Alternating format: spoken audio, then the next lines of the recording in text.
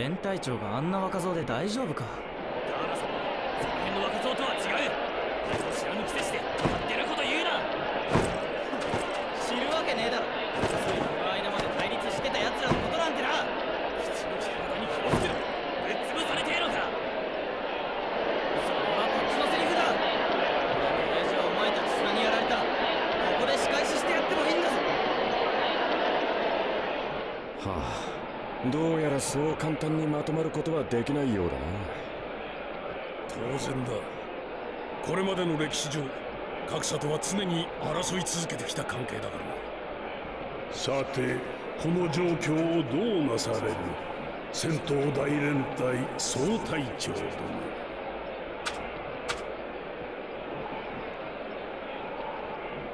自国自里のために第一次から第三次までの長きにわたり忍びはお互いを傷つけ憎しみ合ってきた。その憎しみは力を欲し俺が生まれた。かつて俺も憎しみであり力であり人中力であった。そしてこの世界と人間を憎み滅ぼそうと考えた。今暁がなそうとしていることと同じだ。だがこの葉の一人の忍びがそれを止めてくれた。その者は敵である俺のために泣いてくれた。傷つけた俺を友だと言ってくれた。彼は俺を救った。敵同士だったが彼は同じ人中力だった。同じ痛みを理解し合った者同士。わだかまりはない。今ここに敵はいない。なぜなら皆暁に傷つけられた痛みを持っている。砂も岩も木の葉も霧も雲もない。あるのはただ忍びだ。もしそれでも砂が許せないのならこの戦争の後に俺をやればいい。俺を救ってくれたその友を今敵は狙っている。彼が敵に渡れば世界は終わる。俺は友を守りたい。そしてこの世界を守りたい。世界を守るには俺は若すぎる。浅すぎる。だから皆の力を貸してくれ。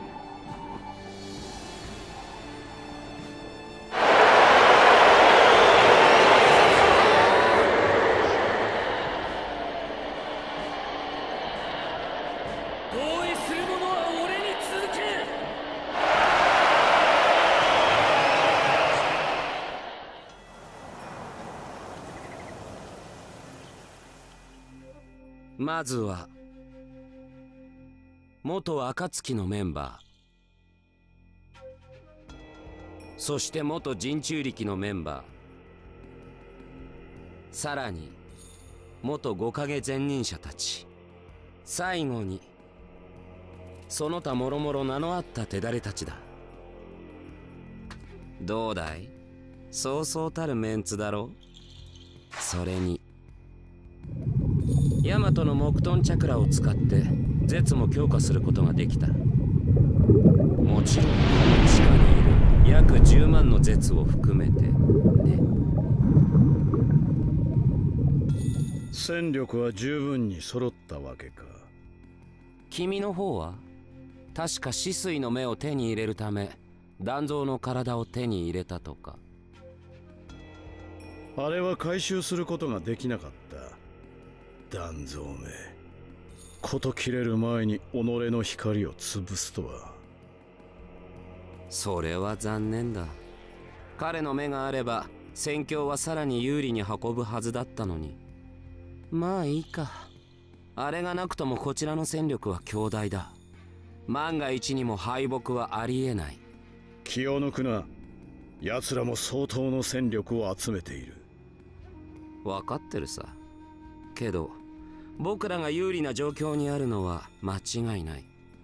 そうだろ？いよいよだな。行くぞ。海戦だ。第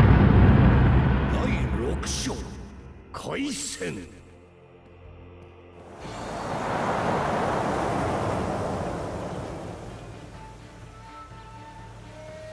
ここはもう敵の領地内だ。周辺への警戒を怠るなよ。はい。了解。こ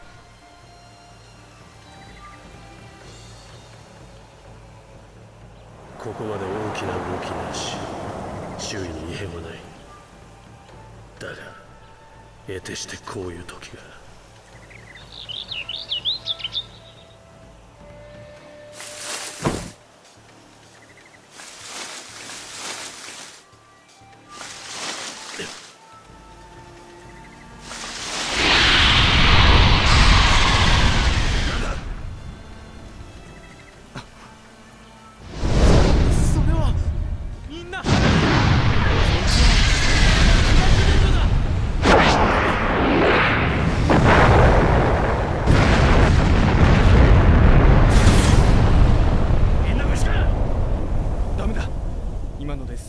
られた。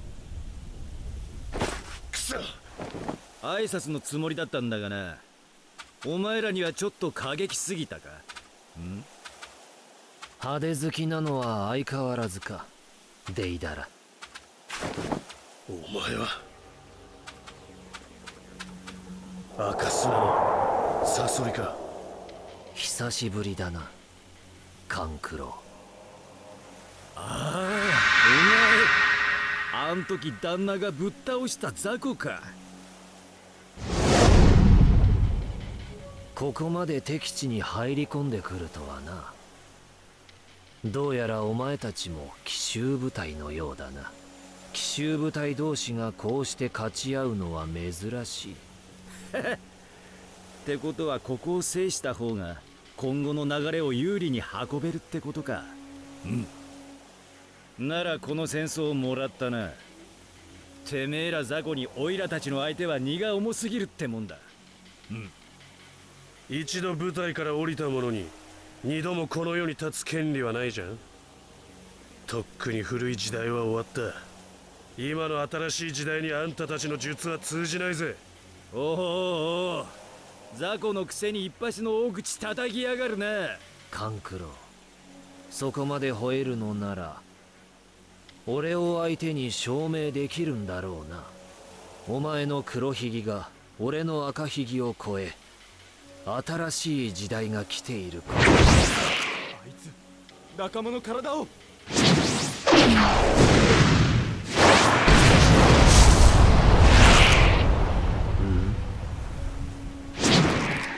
当然だ